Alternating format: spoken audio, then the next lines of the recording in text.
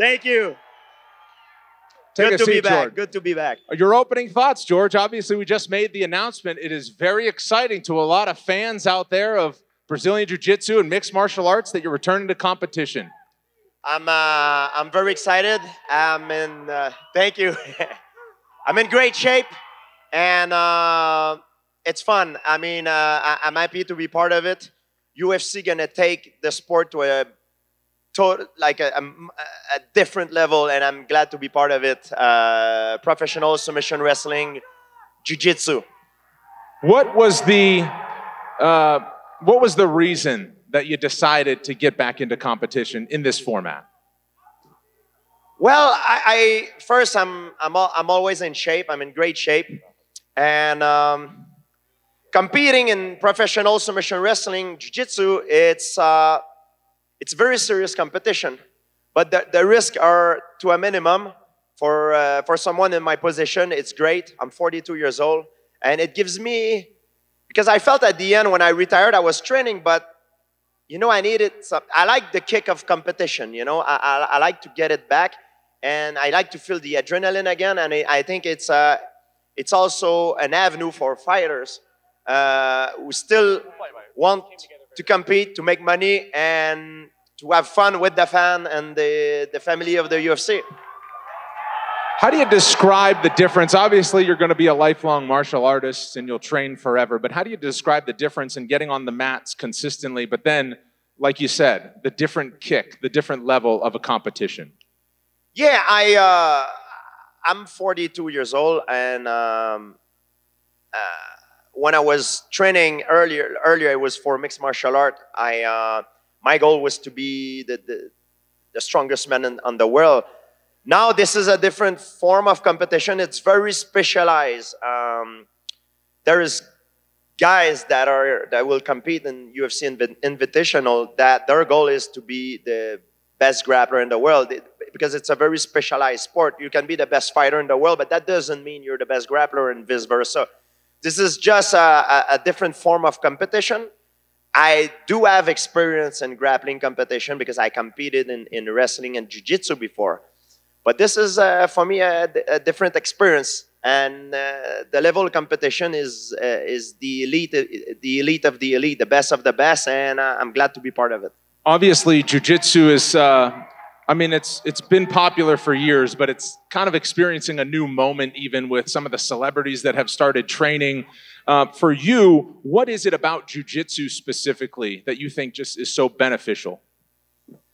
Well, I, I, first, I'm in love with submission wrestling, jiu-jitsu, because it's, it's the oldest sport in the world. It was in ancient Greek uh, hundreds of, of years ago. That, so thousands of years ago, and, and I'm glad we kind of rediscover it. And um, I'm back in the competition. There, there's guys, like I said, will, will be back to be best, like young generation that will be competing against other grapplers that are specialized in that sport that want to compete to be the best grappler in the world. For me, I want to compete against guys that are, are, are active fighter or, or veteran fighter, guys that are in shape to for, for the kick of it and for the fans to please the fans because ultimately you're the one who who decide who you want to see perform. You know. And just a word to the media, he, we might have some time for some questions for George in just a few minutes uh, if you are interested in that. Uh, how would you, to UFC fans, people that are fans of mixed martial arts, that mix the arts, right, striking and grappling, how would you kind of sell to them why grappling competitions are so much fun and why the world of strictly jujitsu is so much fun to watch? Well, it's a sport that is accessible to a bigger range of, of people, I believe, because there, there's no, um, there, there- there's the, the, the risk of injury, injury, especially for, for brain, brain damage uh, consequence, are, are to the minimum. And also, it's a sport that, uh, you know, you, you, you can do it for a longer per, period of time without affecting your health. And I, I will always train mixed martial art. I will always, you know, do karate, Muay Thai, boxing, uh, all my life.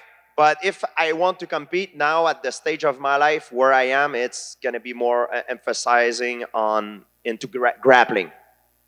You mentioned some decorated names that are going to want their make their name in jiu-jitsu. Gordon Ryan is certainly one who has done that, and he's featured on UFC Fight Pass as well. And you're pals with Gordon Ryan. What can you say about his impact on the world of jiu-jitsu? Well, I, I, I believe Gordon Ryan is the best grappler of all time right now. I, have trained with many guys. I believe he's the best uh, uh, grappler, submission wrestling, jiu-jitsu artist of all time. Uh, and uh, for me, it's an honor to have the opportunity to train with him and train with all the guys at uh, with John under John Danaher uh, tutelage in Austin, Texas. And I'm, I really believe I have the best team. And uh, I'm glad to be back, to be part of it, to represent the team. And it's going to be serious competition. I'm going in there. I'm going to prepare as much as I as much as I would fight the, for a, for a UFC title. It's uh, very serious because it, it will affect my legacy and uh, I'm glad to, to see you guys feel the love, feel the support, and uh, make me, you make me, you guys want to make me to come, come back to this. That's because you, you make me feel the, the love that it, it want, I want to get back to this. Gordon Ryan will be at UFC X tomorrow. So if fight fans want to get up close and personal with Gordon Ryan, he'll be in Las Vegas. I have one more question, then we'll get the media involved. There was a very popular Instagram post recently you were standing next to Elon Musk and John Danaher, the Elon Musk Jiu Jitsu training. What's the word on it right now? um, if you can't say anything, we'll move no, on. No, no, I can, I can, I can. Um, we, we, we train and uh, he, uh, it was, uh, it was a lot of fun. Um, he's very strong, physically very strong, much stronger than the average man very tough. And he has a, he, I didn't know that in the beginning. He had a, a, a judo background. So it, it was a, an amazing experience. I, he's someone that I have admired for years because of what he has done, his accomplishment, and for all the ideas that he stands for. And uh, for me, it was a dream come true to, to meet him in, in person. There's some media questions. I've always wanted to do this. Who has the first question? Hey, John, go ahead. Thank you, sir. Uh, George, obviously very exciting to have you back in competition. Uh, I'm curious, uh, you know, do you have an, an, opponent lined up yet for this matchup? And uh, when can you announce that it's Khabib Nurmagomedov? I, um, it's hard for me to pick an opponent, and I'm going to tell you why, because the, the, there's, the range is huge. And, and there's also guys that when they retire, sometimes they, they get out of shape, so it, it's impossible. And, and there's guys that used to compete in lighter weight class that gets bigger, and or vice versa. Guys that were big that got smaller. I receive I receive a list uh, today of uh, potential uh, opponent, and uh, I will talk have a talk with the, the UFC people, uh, my people, to see also why, who, who, who the fans want me want to see me compete against, and uh, we'll go from there. You know, want to make everybody happy. And George, are you looking at this as you know a one-off, just returning for this one opportunity? Or are you feeling like maybe this could be a new path of competition for a phase of your career? I, I have no illusion, guys. I I, um, I have more important things in my life. I, I, I don't want to be the best grappler in the world. Like, and I know it it will be unrealistic from my part if this is my goal. I'm, I, I, however, I, I, I do want to feel the adrenaline of competition again. I'm in very, very good shape. For a 42 year old man, I'm in very good shape.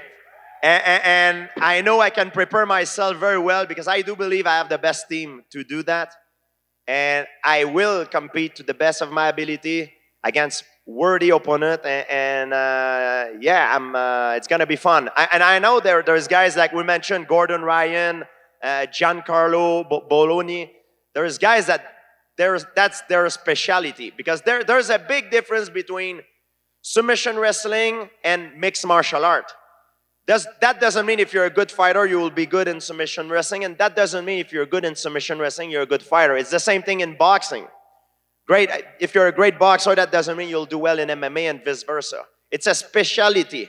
It's a sport that is very specialized, and now I'm gonna start to really focusing on it uh, to get myself ready for the next uh, challenge. And George, just to kind of follow up on that last thing for me, real quick, because we know how meticulous your preparation always was through your career, and you talk about this being specialized. I mean, how will you approach this training? How much of it will be just cater to this, and who will be leading that charge to get you prepared for this? Well, I will train under uh, my coach uh, John Danaher and all uh, his students. He had some of the best uh, athletes under his uh, his, tut- his tutelage so uh, Giancarlo, uh, Gordon Ryan, all all the guys that are training there. Plus, I have my training in Montreal. So the way I see it, I'm gonna be doing Montreal, Austin a lot in the next few weeks, few months. Mike, go ahead. George, just uh, curious for this grappling match, what's kind of your preferred rule set? Like, do you want a submission only, no time limit? What would be your desired kind of rule set here? Um. I, I, I think for the audience, um, a rule sets that that that promotes finishes are would be more interesting for the audience, for me, and for my opponent as well. Something that that forces the action. And just to circle back to the to the stuff with Elon, um, after training with him, what do you think? Does this Mark Zuckerberg fight happen? Um, is well, historically, if you look at what Elon has accomplished, he's the kind of, of man that when he put his sight on a goal, he achieved him. He, he achieved it. Nothing can stop it. Nothing can stop it. However, it's, it's important to, to, to realize that he's no ordinary man. He's extremely, extremely busy most of his time is dedicated to work on things that can change the fate of humanity and change the fate of humanity. So, a part of me is if he needs me, I will be there if he wants my help, 100%. But a part of me also believe that he's working on things that are far more important. He put his time on things that are way more important than fighting in a cage. I know you don't like my answer, guy, but that's what I believe in the bottom of my heart. And we're gonna, we're gonna have to leave it there. Uh, sign up for UFC Fight Pass. You can watch the Fight Pass Invitational. George St. Pierre competing in December. The UFC Hall of Famer, a legend, a former champion. Let him hear it. Welcome back, George. Thank you, guys.